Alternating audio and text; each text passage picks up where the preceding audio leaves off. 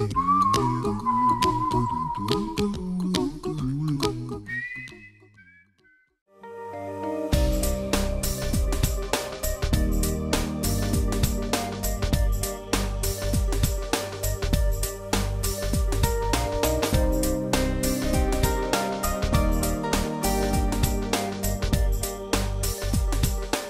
Kültür ve sanat dünyasından haberler veren Sanat Günlüğü sizleri galeri eksende sanatseverlerle buluşan İranlı sanatçı Farzin Rahneşi'nin Çakışan Karanlık sergisine götürüyor.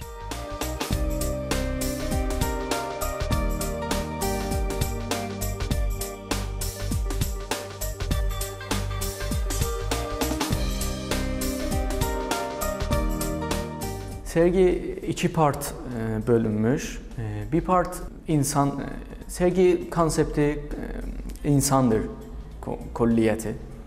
İki part olunmuş. Bir part insan e, karanlık ve ışıklar arasında kalmış ve onlara bakıyor. Bir part da e, insanın e, doğulan halına ki insan e, doğulan haldan sonra ne gelir başına belli değil. Ee, İran'da yaşıyor kendisi ve e, İran'da e, İran'ın en iyi 10 genç ressamı arasında yer alan bir sanatçı arkadaşımız. Aynı zamanda dünyada en iyi 100 iyi genç sanatçı arasında yer alan bir sanatçı arkadaşımız. Ee, konusu e, ve felsefesi, konseptine geldiğimizde resimlerinin daha çok e, insanların iyiliğinin e, üzerine kurulmuş bir e, konsepti olduğunu söyleyebiliriz.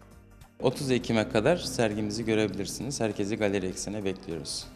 Kültür ve sanat dünyasından haberler veren Sanat Günlüğü sizleri güncel sanat haberleriyle buluşturmaya devam edecek.